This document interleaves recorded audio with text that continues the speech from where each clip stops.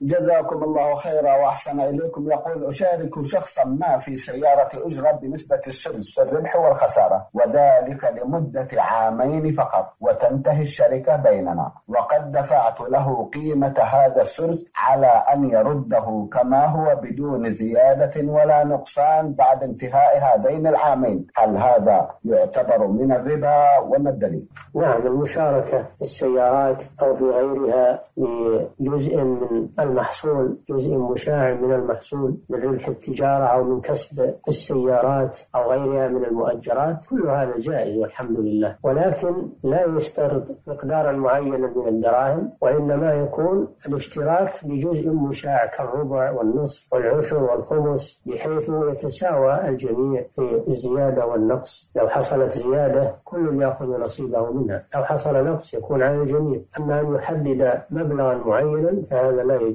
كذلك إذا شرط أن يرد عليه رأس ماله من غير نقص فهذا شرط لا يجوز ويبطل الشركة لأنه ربما تصاب الشركة بإفلاس فيذهب رأس المال أو يذهب بعضه فهو معرض للخسارة والربح معرض للتلف فإذا تلف من غير تفريط من العامل فإنه لا لا ضمان عليه إنما يضمن لو فرط وكان التلف بسببه سبب تفريط. اشتراط أن يرجع رأس المال مطلقة سواء ربح أو لم يربح هذا شرط باطل. نعم.